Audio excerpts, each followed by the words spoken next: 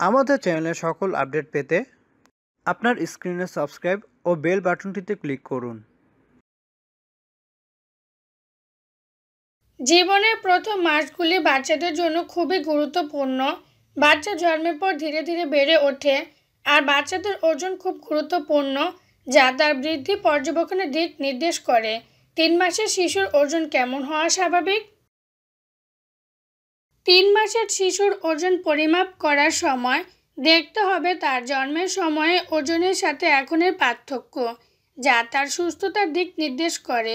তাই আজকে আপনাদের কাছে তুলে ধরব তিন মাসের শিশুর আদর্শ ওজন ওজন কত হওয়া স্বাভাবিক? আশা করি মনোযোগ সহকারে ভিডিওটি দেখবেন।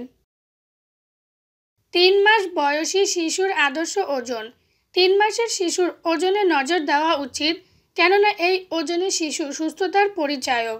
যদি শিশুর ওজন ঠিকমতো না হয়, তবে শিশুটি পুষ্টিহীনতায় ভুগছে। ধরুন, কোনো শিশু তিন দশমিক চার থেকে তিন দশমিক ছয় কেজি ওজন নিয়ে জন্মগ্রহণ করেছে। তিন মাসের মধ্যে ওজন কমপক্ষে পাঁচ দশমিক পাঁচ কেজি হওয়া উচিত। তবে ছয় দশমিক ছয়ের বেশি যেন না হয়, তিন মাসের শিশুর ওজন। শিশুর ওজন একটি নির্দিষ্ট হারে বাড়ে।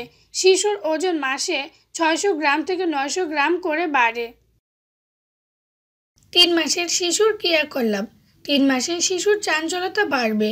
এ সময় শিশুর জন্য প্রথম খাবার মায়ের বুকের দুধ। শিশুকে কোনো কিছু দিতে চাইলে সে খপ করে সেটা ধরবে।